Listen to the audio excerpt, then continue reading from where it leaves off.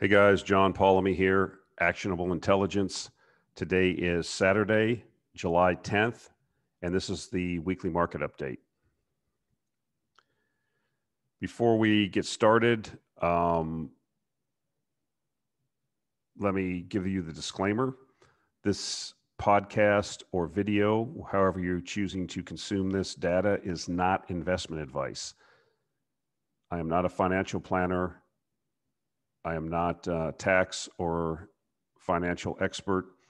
Please do your due, own due diligence.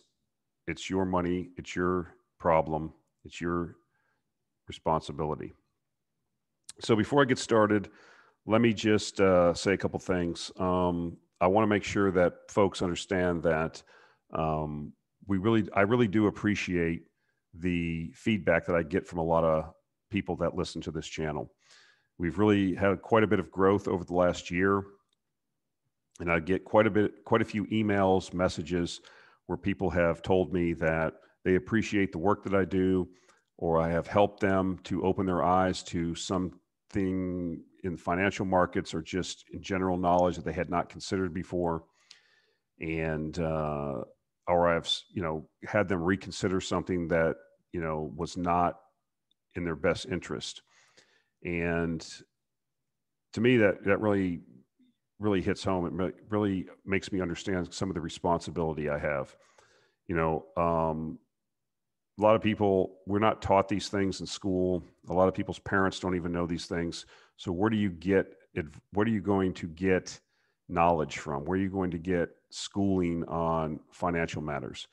And i'm not saying i'm an expert but i have a lot of wisdom because i have been through decades of this stuff and as i said before um, experience is the best teacher and if you can learn from somebody else's experience, you won't make the same mistakes. You won't waste time and money and effort. And so I just wanted to say thank you to the listeners and the supporters of the channel. Uh, we really appreciate, uh, I, I really appreciate, you know, how this has went. You know, I started this thing off. I didn't know how it was going to go. It was kind of a vanity project, but it's really kind of opened my eyes and to, there's a large group of people out there that, you know, think that are free thinking, that are thirsty for knowledge, that want to take responsibility for themselves, not only financially, but just personally, every facet of their life. And so it's encouraging that we're able to um, come together and uh, realize that we're not the only person thinking some of these things sometimes. Uh, am I always right on everything? No, I am not. Uh, one of the things I do appreciate is you guys do put me in check if there's some information that I'm wrong on or I've misspoke about, uh, you got to remember something. I don't have like a lot of notes. I put this thing together. I get into like a mood. I put this thing together in like an hour and a half every week. And then I get on here. I just speak extemporaneously. I just, whatever comes to my mind, uh, and I use the slides as a guide. That's what I riff on. And sometimes, you know, I don't have necessarily the facts exactly the right way. It's not meant to d- deceive you or try to sway you it's uh, just the nature of the beast. So I do appreciate when you guys step up and say, "Hey, wait a minute, uh, I think you're wrong on this." You may take a look at this, and then I do. If I take a look at it and I'm wrong, then I freely admit I'm wrong. Nobody's right all the time. It's impossible. So it's just another, like I said, benefit of this group of people that uh, I feel privileged to serve every week. Um, the one thing I would ask of you is if you get value from this, if you enjoy the content, if you enjoy listening to this, you know, if you're, I think it's, this goes out to like seven or eight different podcast platforms. I don't know what you guys listen to it on. I don't even know all the platforms. I just send it through an aggregator and it sends them out. But if you have the ability to rank the show, rate the show, comment on it, you know, take the time to do that. It really does help us out and it helps spread the message. You know, I have you see it in the comments. People feel so strongly, or they feel you know the content's pretty good, and it's like I can't I can't believe this this guy doesn't have hundreds of thousands of subscribers. Well, I, I think that's generous, and I appreciate you saying that. But uh, it would be you know give us a hand. You know, if you like what you're hearing, if you like what you're seeing, you know, hit the like button, make comments um, pass it around, whatever. Uh, that does that does help us out. So um, I'm grateful for the growth we do have. It's steady, you know, slow and steady wins the race, and that's what we've been. Um, I've been around for a long time now and uh, on YouTube going on almost three years, I think. And, uh, you know, I feel like eventually we're going to break through. And especially in this time of deceit, lies, you know, people don't, the truth does come out eventually. And people don't, if they make certain decisions, you know, a lot of people, how am I trying to say this? A lot of people don't want it, the truth. They want to be led. They don't want to think for themselves. It's just an unfortunate that a lot of people are like that because it's scary for them. And so eventually the truth outs, and I'm going to keep saying and doing what I'm doing on whatever platform I can because I feel like, you know, the mainstream media is collapsing. The trust in the me- mainstream media is collapsing in, in government and all our institutions. And people are just sick of it. So they're looking for alternatives. And so I want to provide that alternative where I can and I don't want to be the same can talking head. Um, you know, I want to I want to make my comment value comments valuable and, and helpful to you guys. So help us out if you can. Uh, the other thing I want to say is, you know, feel free to subscribe to the newsletter, uh, Actionable Intelligence Alert newsletter. And there's another option too. If you just want to try and see what we're doing, uh, what kind of work we're doing, what kind of companies we're actually, you know, speculating in or investing in, uh, there's an option, a Patreon option in the show notes. You can you know, for five dollars, uh, you can sign up and you will get the most recent um, stock pick that we have. It may not be this month. It might not be this month. We don't have a stock pick every month, but the most recent one, you would get that. It's a one-time deal. You only get it once, but it gives you a sense of the flavor of what we're doing and what kind of companies we're talking about and the type of uh, commentary that we do. You know, the average issue that I put out is about anywhere from 3,000 to 4,000 words, 10 pages, uh, company updates of this portfolio, new ideas, and commentary. So uh, some people find it valuable. Some people have been with me since the start of it, um, and some people, you know, don't like it. Uh, a lot of people don't. You know, some people, most people, uh, most people resubscribe, but you know, it's not for everyone because we're telling the truth. And I'm not going to give you, you know, the boilerplate. I'm not going to hype things up. I don't hype it like a lot of newsletter people do. Uh, I, I, think it's sleazy. This industry, uh, you know, these the advertising that they do and how they couch their copywriting. I don't do that. I just tell you how it is. You take it or leave it. I mean, that's just be straight up. I believe being straight up with people, trying to provide value, and if they get value, they'll pay for it. So uh, that's just a short spiel I wanted to make before we get into this week's um, commentary. But like I said, guys, I really do appreciate you. And, uh, you know, it's, I, I, really feel fortunate and I enjoy, this is something that I enjoy doing once a week.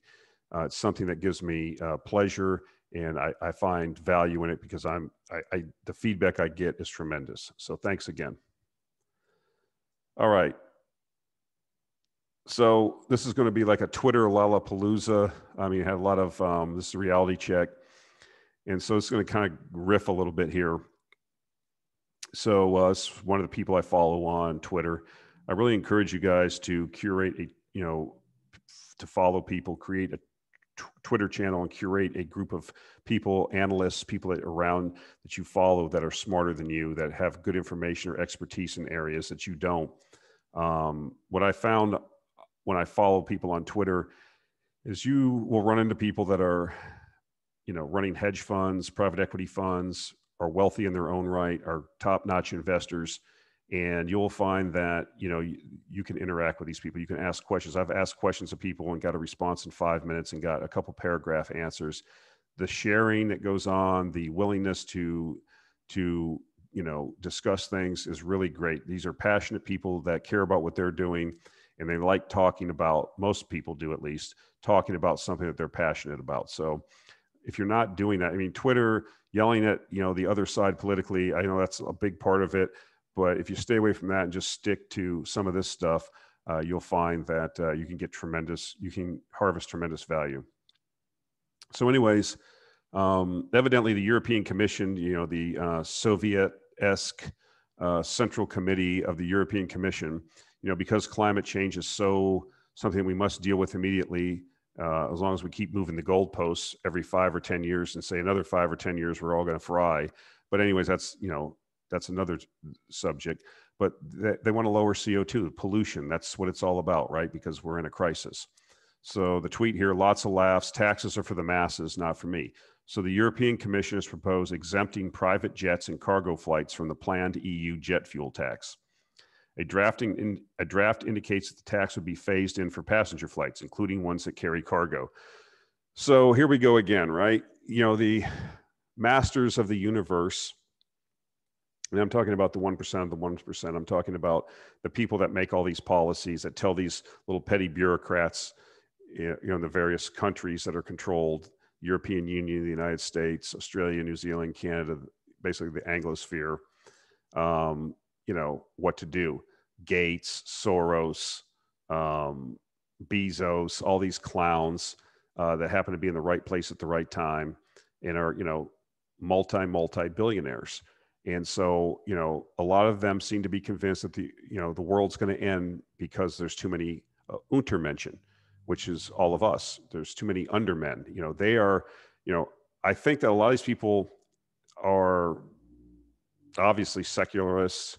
They are humanists, but they don't like human beings. They only like themselves and other people like them. And I think what happens is, is if you're in the right place at the right time, or you do build a business that ends up becoming worth a hundred billion dollars or whatever, that you think that that's because of you and to a certain extent, you know, maybe it was. But at some point, other people came into these businesses and helped them build them. They had the original idea, they had the majority of the stock. So all of a sudden now they're supposed to be making public policy for the rest of us. Who elected them? What constraints are on them? You know, if you follow the chain of the Gate, Gates uh, Foundation, they got they give money to everybody, and money talks and BS walks. You can buy court cases you can buy politicians, you can buy legislation. And so we have a situation here where obviously, um, you know, you getting on a trip and going to, you know, Europe for vacation to see something that, you know, create a lifetime memory for your week or 10 days going through three European countries cannot be a lot. we have to tax that because that's pollution. You know, airplanes create a lot of emissions. But uh, if 400 people, 300 people are packed into a 787 Dreamliner, we're going to have to put a tax on that because the Untermenschen are creating all this pollution. But uh, we're going to exempt private jets because uh, when I'm a master of the universe and I have to fly to Davos to meet with the other masters of the universe so we can conspire about how we're going to get more power and wealth, that doesn't need to be taxed. The hypocrisy, it drips with hypocrisy. And I don't like hypocritical people and talk. You, you, you know, if if Bill Gates said, "I believe that the Earth's being destroyed by human beings, and all, we have to do this, this, and this," and I'm going to cut, I'm going to set going, you know, sackcloth and you know put ashes on my head, and you know, living as an example. Well, no one would care, by the way, but at least you could say the guy's not a hypocrite. But these people actually believe, I think, I don't know any of these people, obviously. I've never talked to them. I'm not a psychiatrist. But I think when you have $100 billion, you think that you're, you think you're smart and you think you have all the answers. And you have the means then, because you have that kind of wealth, that you can make things happen. No one with a sign, with a piece of cardboard stapled to a stick, marching around in front of the UN, that you have no power. No one cares. No one listens to you. You are what's known as a fart in a mitten you're not, you just dissipate. As soon as you're gone, no one cares you were there. But if you have $100 billion and you create a foundation and you can drop money in the sock of various politicians, if you can influence legislation, if you can influence governments, which they can with that kind of wealth, then you know you think you have real power. But who, where's the checks and balances on this power? Is it for good or bad? Who, the only person that determines whether their actions are good or bad are them. They're not subject to any kind of uh, legislation or democratic review or whatever. So, what are the constraints? There are none. And so, as I've said before, I do believe that people of wealth and power conspire with each other to get more wealth and power. And unfortunately, I believe that men are fallen in a fallen world. And I believe that many of their uh, activities end up being nefarious. That's just what I believe. So, this is a manifestation, uh, you know, um, taxes on jet fuel only for the Untermenschen, for the little people. For the useless eaters. Not for me, because I'm a master of the universe and I have to go here and talk with the other masters because we're going to we're going to control everything. So these people say these things, and this is, you know, okay, great. Ted Turner said, who's Ted Turner? He's the guy that created CNN. He's a billionaire. He owns, he's one of the largest landowners in the US. And here's what he said a total population of 250 to 300 million people, a 95% decline from present levels, would be ideal. So if he said that, which I'm assuming he did, he's made other comments like this. What's the follow up question? So I have a question, Mr. Turner. You think that would be ideal? In what time frame would you want to achieve that? And they force him to answer the question 10 years, 100 years, 1,000 years? If it's in 10 years, how do you plan on achieving a 95% reduction in the population that you consider ideal? You never hear these follow up questions. I mean, if they're asked, we don't know what the answers are. And it wouldn't really matter if you asked me that. You know, if somebody, if I was a, a nitwit that uh, believed this, and you said, well, John, uh, a total population of 20, 250 to 300 million people would be, you know, you said that that would be ideal. How would you achieve that? Well, I, you know, believe that we should maybe introduce a, uh, you know, virus or something to control the population. We should sterilize people, and people would think I was crazy. But no one would listen to me because I don't have any power or money. This, this guy's a nitwit. He's a kook. What's this guy's plan? What what time frame does he want to do this over? Are anybody in his lineage or in his family going to be subjected to any of these control measures? We don't know. It's never asked. And that would give us a very interesting view into their psyche of what they're really doing. Does he meet with other people of power and wealth to try to make these things happen if they actually believe them? Because he thinks it's ideal. Does Bill Gates think it's ideal? Do the Rockefellers think it's ideal? Does Soros think it's ideal? Do the other people that we don't even know about that have wealth and power that don't put themselves out into the, uh, the public uh, uh, stage, do they think it's ideal? What are they planning to do? Because they have means to do it. They can influence politicians. They can create, they have tremendous. I'm not talking about having a couple million dollars. You're still a fart in the wind. When you have billions of dollars, you have power. Who's checking them? What are they trying to do? What constraints are they are they subject to? Who's reviewing what they're doing? And who put them in charge?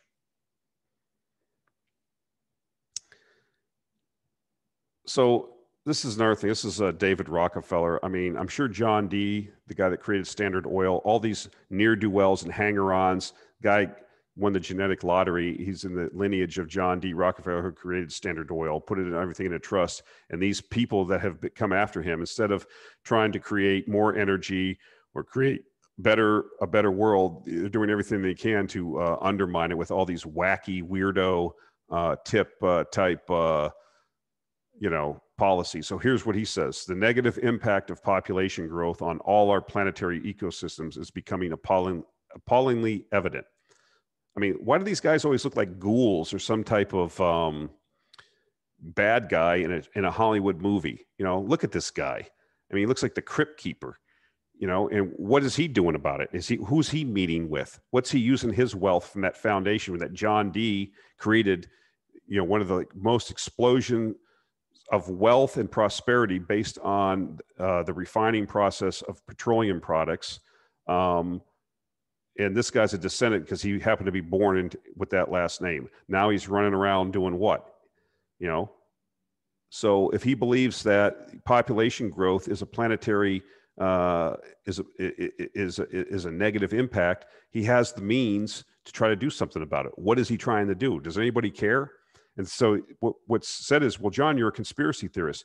I'm not a conspiracy theorist. People of wealth and power, they say these things. What are the follow up questions? Well, what exactly are you using your wealth to do about it, Mr. Rockefeller? If you think there's too many people, Ted Turner said we should reduce the population by 95% in the next, you know, 25 years or whatever the answer would be. Do you agree with that? How do you how should we achieve that, sir? You see what I'm saying? Are you getting the point? It's not a conspiracy. People of wealth and power conspire to get more wealth and power, and they think that they have the answers. And what what is your input into it? None. You got to go along with it. So this is interesting this week, getting on to the investment portions of this financial. So let's just talk about this real quick. Junk bonds, right? Junk bonds are issued by companies that have low credit ratings below investment grade. That means they're at risk of going bankrupt or not making their payments. So what did we find out this week? Investors' headlong embrace of risk passed a new milestone in recent sessions. The return that investors receive for investing in the riskiest US companies fell below inflation. A rally in the corporate debt rated below investment grade has pushed yields to record lows around 4.57%, while consumer prices rose 5% in May compared with a year earlier. That marks the first time in history junk bond yields have dropped below the rate of inflation. The move upends the conventional logic of investing in bonds, which are typically prized for protecting investors' money. Junk rated companies include those most likely to miss interest payments or go bankrupt. Buying bonds that yield less than inflation means locking in a loss. So we've talked about this before. If the inflation rate is higher than the rate of return, you have of the bond, you have a real negative yield. That means you are losing purchasing power. And that's in a US Treasury bond, which is which is considered to be almost risk-free. Okay. And now you're talking about junk bonds selling below the rate of inflation. So you're taking a negative return on a on a an asset that is so risky that the company may go bankrupt or is may not be able to pay its interest payments. Do you see how much how skewed everything is now by the Federal Reserve and these other central banks creating all this liquidity? It has nowhere to go, so it's pushing down the yields of these bonds that are below investment grade. The we are in a historic bubble. I don't know when it pops. When it does, it's going to create turmoil like you won't believe. I can't even envision what the repercussions are going to be. But this is not good. This is just amazing and we've seen it just about in every asset class. I've talked about this ad nauseum. Okay, U.S. coal exports are booming. This is tremendous. Um, everybody said coal was dead. You see what's happening here. These are just exports. It's happening all over the world. Natural gas is in shorter supply. Where they can do fuel switching, they are. As economies recover, the demand for energy, you cannot have economic growth without energy growth. It's that simple. And that's what a lot of these masters of the universe want to stop. They want to stop energy growth. They want to stop, stop economic growth. Why would they care if the economy grows and if your business grows or if you can supply, uh, you know, create wealth for your family because they have $100 billion? What do they care? That's your problem. So here's what you have happening. Um, this is good for, for us. Uh, obviously, for the coal stocks that we own, they've been tremendous performers specifically one of them, which I'm not going to get into because it's for subscribers only. But if you're on Twitter curating a good uh, bunch of people, you already know what one of the best performing Twitter coal stocks is. So I expect we're going to see tremendous earnings over the next couple quarters because prices are up at like 10 year highs. The news is just getting better and better for coal. So this is uh, what I consider another positive sign for oil. Um, you know, Calgary is in Alberta. Alberta is one of the most prolific oil provinces, states, if you will, in North America. And so, because of that, Calgary is known as a you know petroleum type city, right? It's a big city. It has a lot of companies based there that are in the oil and gas business. So it makes sense that the University of Calgary would have would have had a uh, oil and gas engineering program, a petroleum engineering program. So here's the recent news. The University of Calgary has suspended admission for its oil and gas engineering bachelor program amidst a downturn in Canada's energy sector and a transition towards a more renewable future. Hmm. In fact, enrollment for the program has hit an all time low with only about 10 students registered over the course of the last two years. Quote, through the conference, what we saw was a lot of anxiety, kind of being associated with the idea of going back into oil and gas or being pigeonholed into one career, especially in an industry that had kind of a precarious future. So this is the kind of things you see by first level thinkers right around inflection points. So we've had, you know, a tremendous bear market, a tremendous depression in the oil and gas industry over the last five or plus years. And so no one obviously is going into petroleum engineering because why would you? It's going away, right? That's what the masters of the universe say. That's what the guidance counselor in high school told me. You need to go into renewables. So you're living in Edmonton or Calgary and you're coming out of high school. You're living in the middle of the Western Canadian Sedimentary Basin, one of the most prolific oil and gas regions in the world. You have the oil sands at Fort McMurray up there, okay, that have 30, 40 years of reserves. And you're going, you, you are in, in a situation where you're in the winter up there and the temperatures are below zero and you think it's a more renewable future who's telling these kids this? What renewables?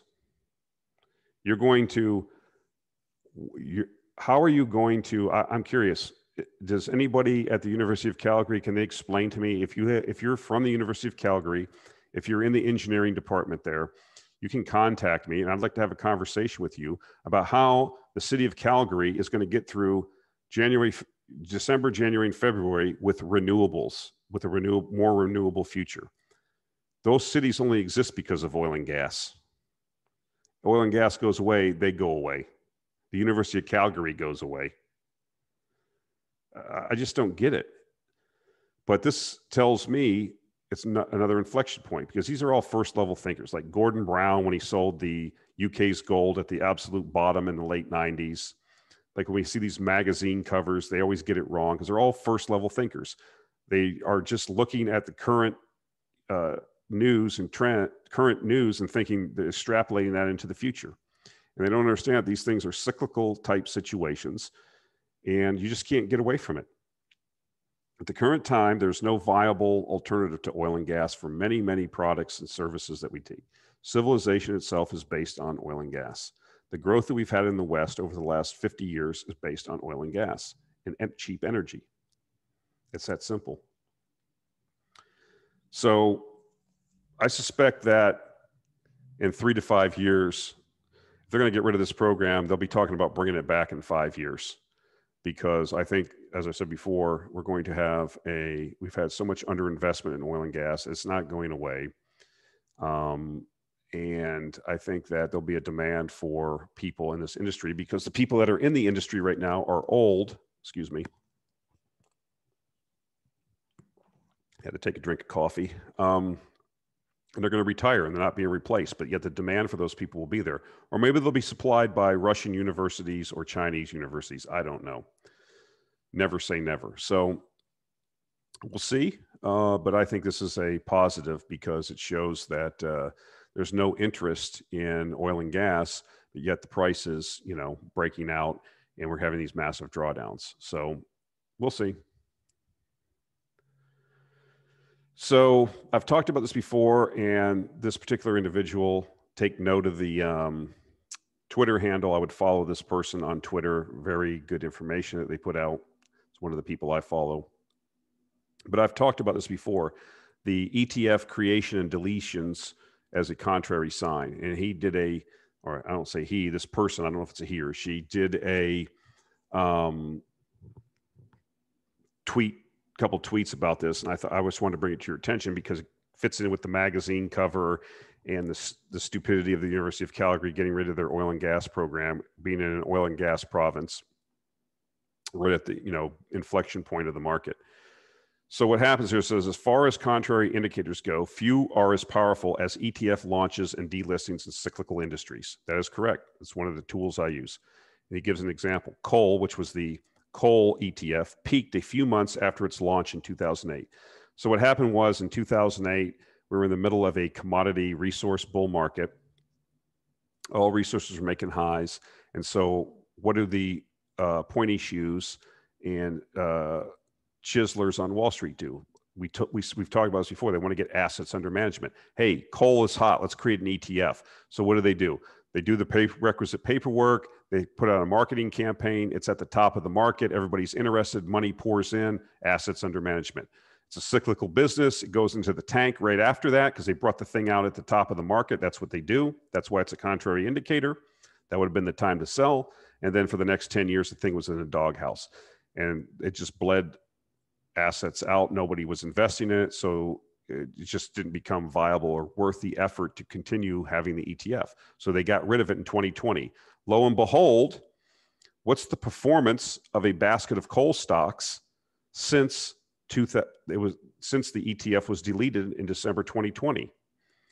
Well, you can see from this chart that he put up, he named I think five or six, five different uh, the major coal companies up here to the right and the return since the delisting is 115% to the positive. So that is the power of using this type of indicator. Um, these guys always get it wrong at the inflection points. Um, it's just the nature. The, the market runs on sediment and liquidity. And when the sentiment is high, when everybody's in, that's when they, you know, Cathie Woods is a perfect example in ARK. you know she could do no wrong. She was drawing in all these assets you know and then when this you know when the thing when the market turned against her recently from growth to value now it's kind of switching back a little bit but i mean assets were pouring out. We get these in financial history you can go back and just look at time after time in different periods where these people do the same thing. And something gets hot it's the new shiny object all the all the all the assets chase it. We've talked about this before they have the saying in Canada in the junior resource market when the ducks quack, feed them. When an industry becomes hot, uh, they will create all these products to get get your money and create, uh, regardless if you make money, they could care less. So this is just a you know a great contrary indicator. It's not the only one we use. It's just another in our arsenal of other contrary indicators. So I want to talk about the volatility in resource markets, specifically uranium right now, but it applies to all the other resource markets. And this is another person you should follow, Cycle Bottom. They're outstanding. Uh, most of their posts are really great. And what this person did was show a stock that they that they I guess dealt with in the previous bull market. It's uh, Forsys Metals. This is the performance during the last bull market. I think it topped out at close to 10 bucks a share was under a dollar when this uh, bull market started. But what I think is important is is we're in the middle of a down period now. It's all it was all unicorns, rainbows, puppy dogs, and little kids and lollipops recently in the uranium market. And I would suggest to you that a lot of the uranium stocks, particularly the juniors, got ahead of themselves um, for different reasons. Now, I'm a long term bull on uranium nothing's changed in my thesis. I got in well before anybody was talking, hardly anybody was talking on Twitter. Okay. Um, now everybody's talking about it and a lot of money has come in. So, what I wanted to point out to you is what happened with this particular stock, and it's indicative of what happens to a lot of resource stocks in these bull markets. And I think you're going to find it interesting and instructive, and you really need to think about this. So, volatility, make it your friend. So in 2005, whoops, 2005, the stock went from 90 cents to 30. Okay. So it had a basically two thirds decline, 66% decline. And then it rallied and went to a dollar 70 and then dropped to 70. So in the space of 12 months, you had two 50% declines in this stock would you have held? What would you have done with that kind of volatility? Would you have sold? Remember, Amazon had two or three 90% drops on its way to the wealth it created. So, what would you have done? What will you do now in the midst of this uh, uranium pullback? Would you have traded it? So you would have got in it, you would have got out back in at 30 cents, you would have sold at 90 and got in at 30 you would have rode it all the way up to a dollar seventy and then sold it and got back in at 70 interesting. If you can if you actually did those trades and can time things like that i need to bar and you can do that consistently like well above 50% because i will give you all my money to manage because no one can do it. 2006 we had a drawdown okay? This is on the way now remember this is on the way. This is over a three three and a half, four year period where we went from under a dollar to $10 a share. This is where the real wealth was created in the last year. But this is what happened in the interim. In 2006, you know, we had a high of 290. Remember, the previous low the previous year was 30 cents. But in 2006, we had an, another more than 50% drawdown in the stock. The volatility was there. What would you have done? Would you have had the conviction to hold it? Would you have had the conviction to buy more at $1.10 and add to your holdings? What would have been your thought process? What would have been your emotional status? Again, 2007, before we made the final blow off top, we had a drawdown from 880. What if you bought back here, even at $1.70, you got to 880 and it dropped to seven or 690? You say, that's it, I'm out. This is what I'm trying to tell you. The big money is made in these big moves, okay? But there's a tremendous amount of volatility on the way. And so we're going to see that in this uranium market. You know, the stocks are ahead of themselves, especially the juniors. There's a lot of positive news out there. The ultimate long term fundamentals have not changed, they've gotten a lot better, but that doesn't mean the stocks are just going to go continuously higher. People get bored. People, other shiny objects appear to attract their attention. Uh, the general market itself has an effect. You know, uranium stocks and resource stocks are stocks. If the overall stock market goes down 30%, resource stocks are going to go down 50 or 60%. That's just how it is. It has nothing to do with the ultimate fundamentals of a cyclical market that's in a long-term bull market. And so what I'm telling you is, is that to get through these periods of volatility, to understand them, you have to have conviction. That means you have to have done the work. You have to have formulated a thesis. Then you have to ask yourself, this thing just had a 50% drawdown, but I can't see anything in this industry to cause that. You know, as Buffett says, in the short term, the market is a weighing machine. In the long time, or excuse me, in the short term, it's a voting machine. In the long term, it's a weighing machine. So we have a view that there's going to be growth of nuclear is here.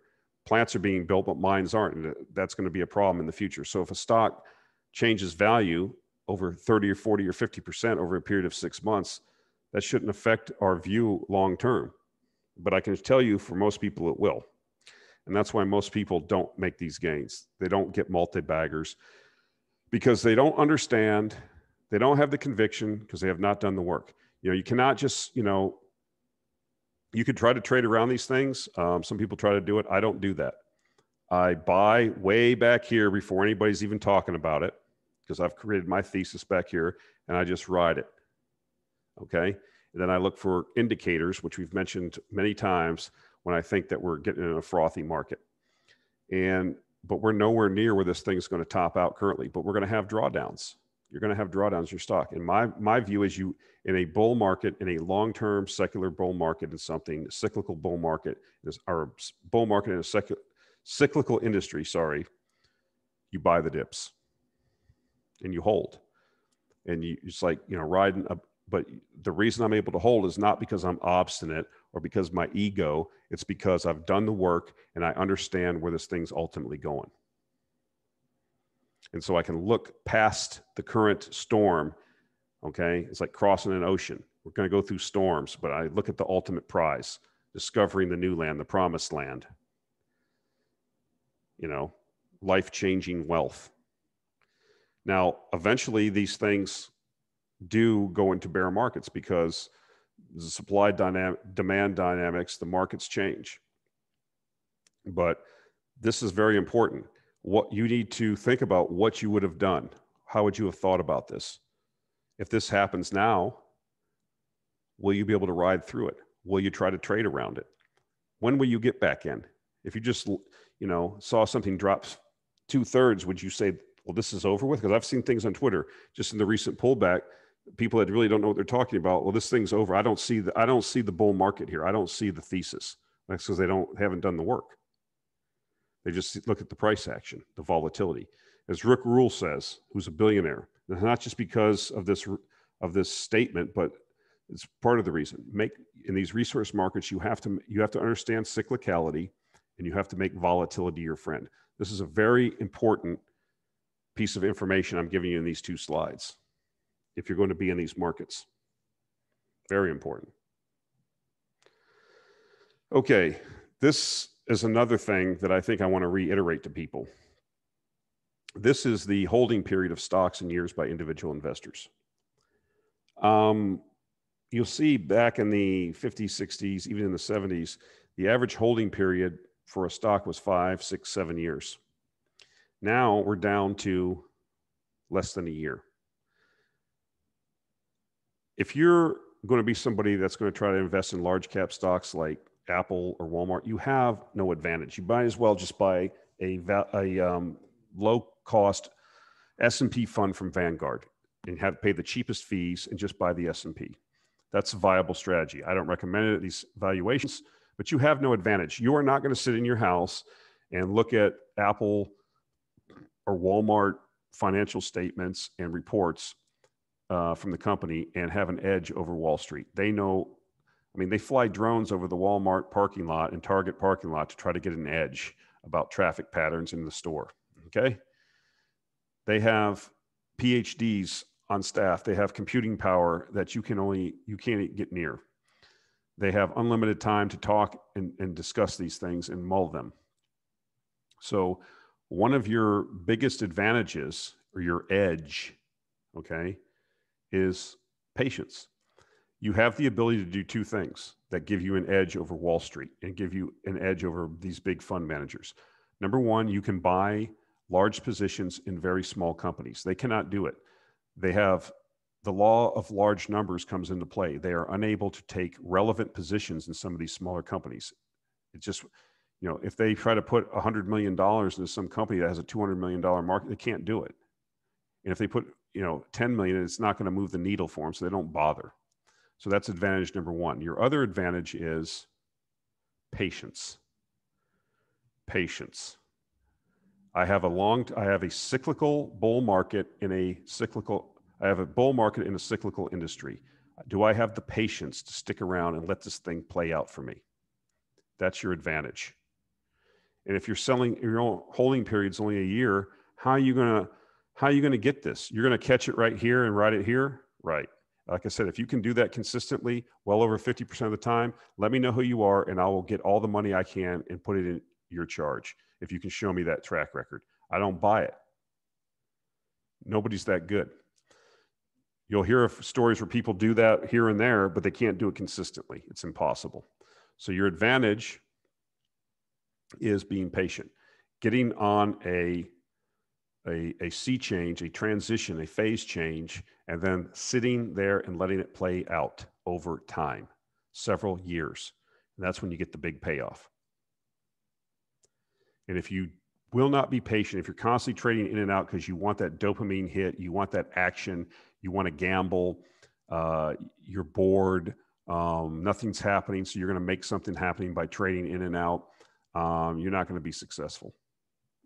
I'm not saying you won't, but your chances will be very, very low. There are, I shouldn't say there's nobody that can do it. People do do it, but you know, people walk on tight ropes in the circus too. Most people can't do it. I mean, it's just most people can't play hit major league pitching. Some people can do it.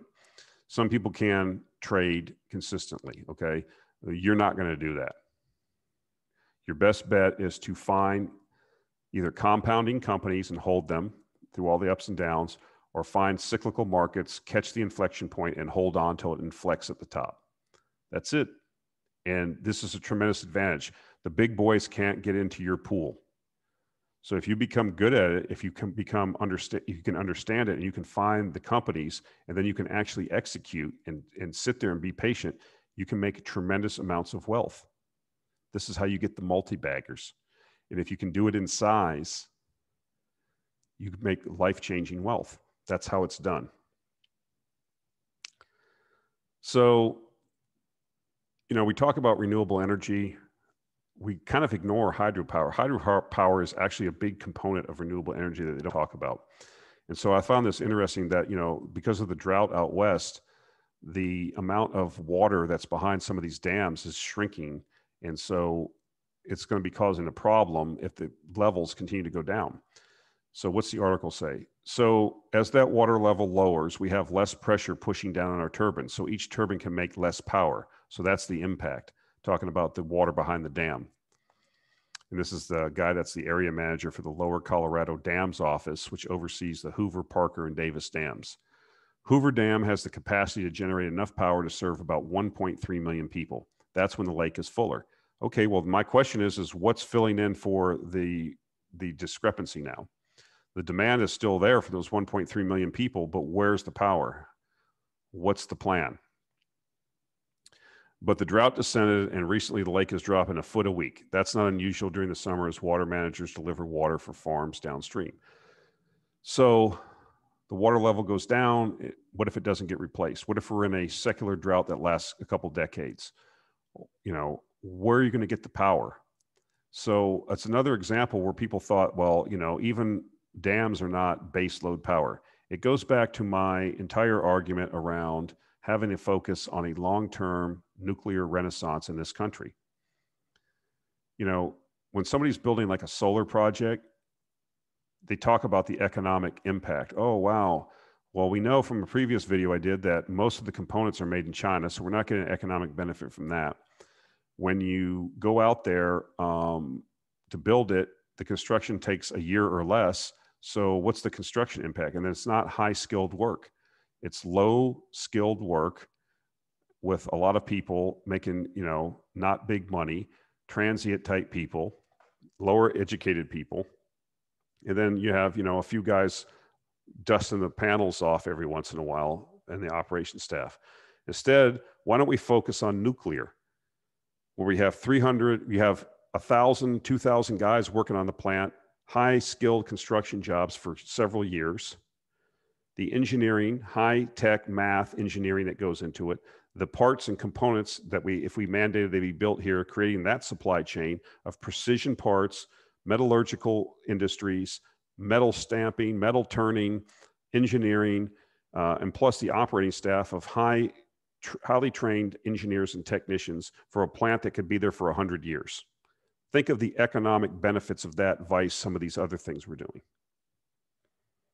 And that's my argument and I think we should do that. If you if you are of the view that CO2 is the most critical issue of this of our future, then you have to be an advocate for nuclear power.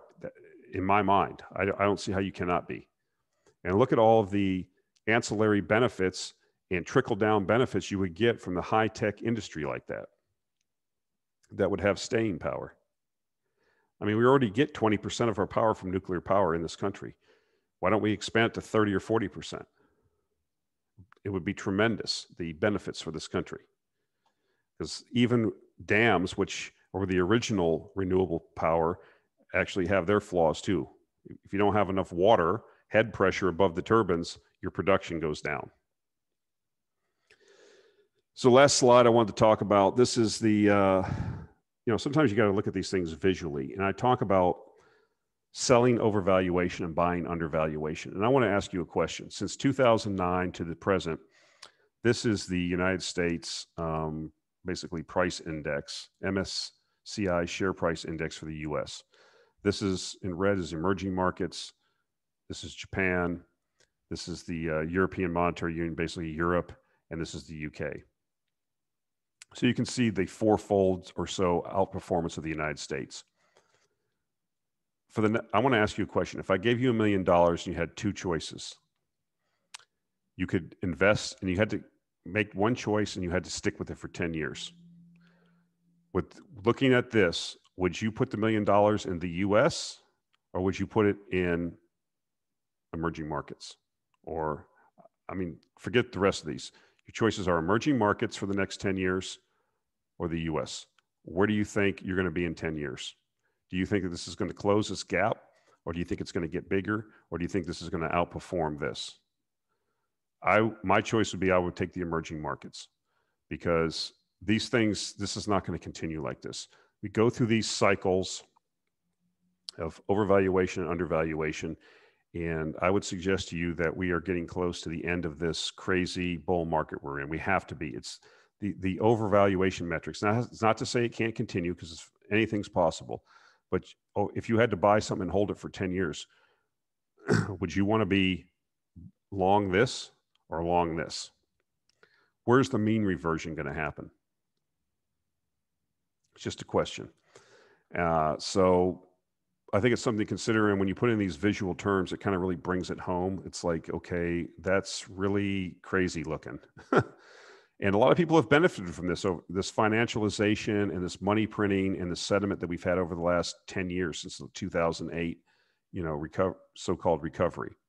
You can see what happened. This is the COVID drop, you know, and like I've said before, money print, um, sediment and liquidity drives markets, and we've had a tremendous amount of liquidity, and I don't know if it's going to continue for the next ten years. All right, guys, that's it for this week. Appreciate the uh, following, appreciate the uh, support, appreciate the viewership. Um, you guys make it happen, and uh, again, thank you for that. All right, that's it. We'll talk to you next week.